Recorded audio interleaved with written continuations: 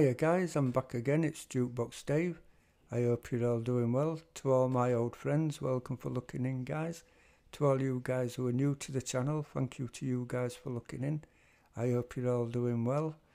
And to all my Spanish friends who've asked me for some more Monica, well, we're back with her today guys. I know it seems quite a while since we've played any of Monica's music, but uh, we'll always get back to it eventually for you, my friends. So uh, today we're going to do Monica Navanda, if I can pronounce it. oh dear. Oh man. Rancho. I'll get there eventually, guys. I really will. And uh, the song's called Solo Si Vivi Una Vez. Uh, that's what it says up here, guys, or words to that effect. And my Spanish friends know by now my Spanish pronunciation is absolutely rubbish, guys. And I really do apologise for that, my friends. But as I've actually uh, had it translated to English, and it means you only live once. so I suppose that's true, isn't it? Oh dear. Okay, guys, well, uh, that's where we are today, my friends.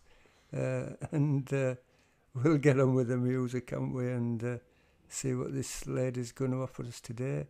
Uh, the last couple of videos I've done of her, she's been totally outstanding, my friends. She's uh, one of the top singers, I think, of all time, I, I would imagine. Anyway, let's get into the music, guys.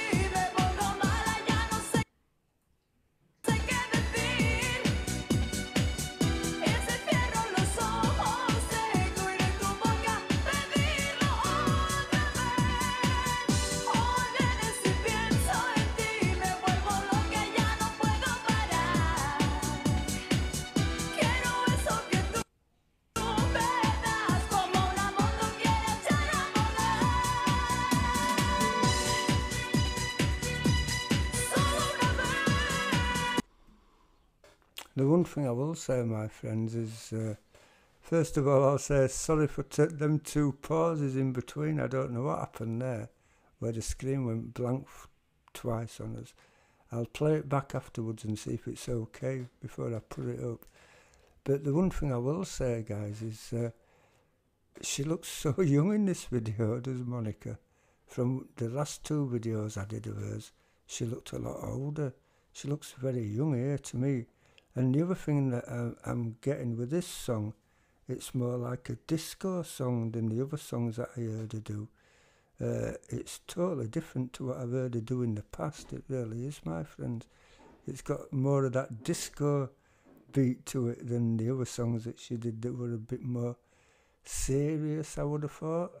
I don't know. you guys will have to let me know in the comments, my friends. You really will. Okay, guys, well, let's carry on and uh, see how it goes. Okay, friends.